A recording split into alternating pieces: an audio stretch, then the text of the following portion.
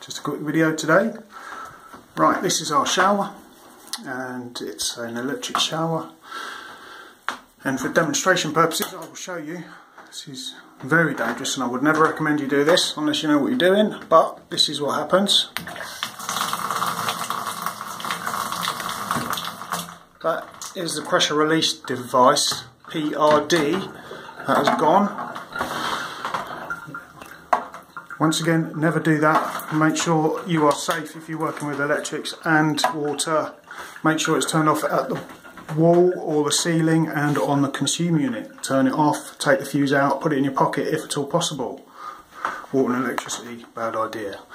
But this is the PRD, pressure release device. They are used in almost all electric showers and some thermostatic showers.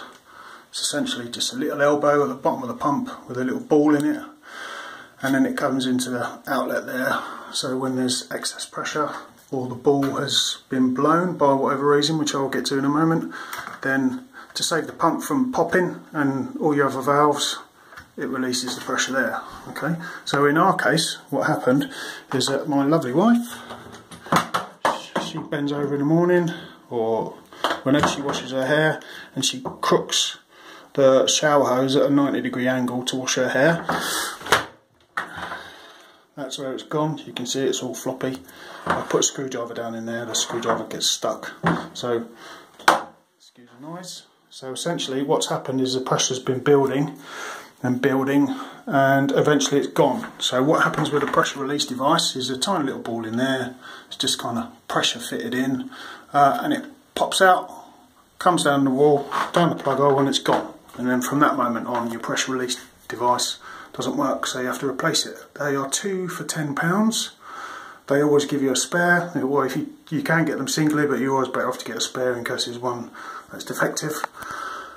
Um, and it's relatively easy to fit. This is actually on this Triton, it's a little bit awkward because of the cutout there, you have to have a, a really small screwdriver to get in there. Focus!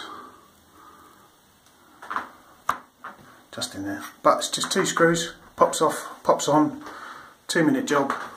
Make sure you're safe, turn the electric off. If your water's coming outside of the shower, don't panic. You can call a plumber or shower expert out if there is such a thing, but um, chances are they're probably going to charge a call out fee and you're still going to have to wait for the part anyway. So easy DIY fix, don't panic, change the PRD, change the hose, job's a good one, 30 quid, done. Take care. Bye bye.